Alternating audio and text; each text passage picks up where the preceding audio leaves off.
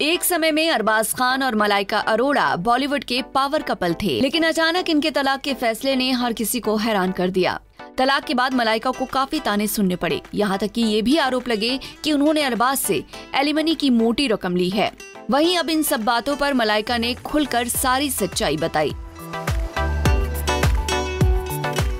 Pink villa को दिए interview में मलाइका ने कहा मैं ऐसे परिवार में नहीं पली बड़ी हूँ जहाँ मुझे ऐसा कहा गया हो कि तुम्हें इस उम्र में शादी करनी है। मेरे परिवार की तरफ़ से मुझे ज़िंदगी खुलकर जीने एंजॉय करने और ज़्यादा से ज़्यादा लोगों से मिलने, रिश्ते बनाने को कहा गया था। फिर भी मुझे नहीं पता कि मेरे दिमाग में क्या आया। मैंने कहा कि 22-23 साल की उम्र में शादी करना चाहती हूँ। मुझ पर किसी ने दबाव नहीं बनाया, ये मेरा फैसला था, क्योंकि उस समय यही मेरे लिए बेस्ट ऑप्शन था।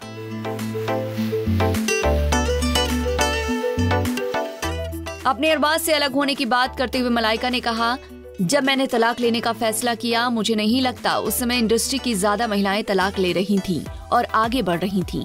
उस वक्त मुझे लगा कि मेरे लिए, मेरी पर्सनल ग्रोथ के लिए मुझे अंदर से खुश रहना होगा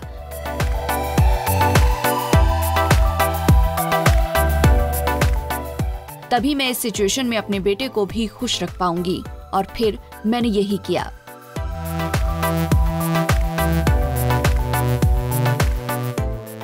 इस बीच मलाइका ने उस इंसिडेंट को याद किया, जब उन पर एलिमनी में मोटी रकम लेने का आरोप लगा था। वो कहती हैं, किसी ने उनके आउटफिट की कीमत पर आर्टिकल लिखा, उस पर काफ़ी बेकार कमेंट्स आने लगे थे। उसमें लिखा था कि मलाइका महँगे कपड़े अफोर्ड कर सकती हैं, क्योंकि उन्हें एलिमिनी में अरबाज से मोटी रकम मिली है। ये देखकर वो हैरान रह गई आपने जीवन में चाहे जो भी किया हो, किसी भी लेवल पर हो, इससे किसी को कोई फ़र्क नहीं पड़ता।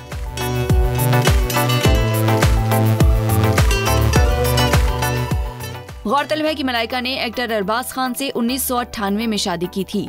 दोनों की पहली मुलाकात एक कॉफ़ी एड शूट में हुई थी। शादी के 18 साल बाद उनका रिश्ता टूट गया और एक साल बाद तलाक ले लिया। दोनों का एक बेटा है जिसका नाम अरहान है।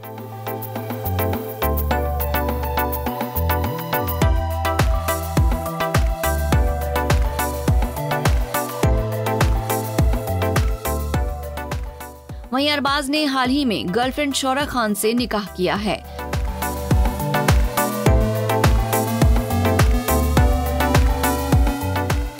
मलाइका और अर्जुन ने साल 2019 में डेटिंग शुरू की थी, तब से उन्होंने कभी भी अपने रिश्ते को छिपाने की कोशिश नहीं की। अब देखना यह है कि मलाइका और अर्जुन एक रिश्ते में बंद कर फैंस का सपना पूरा करते हैं या नहीं।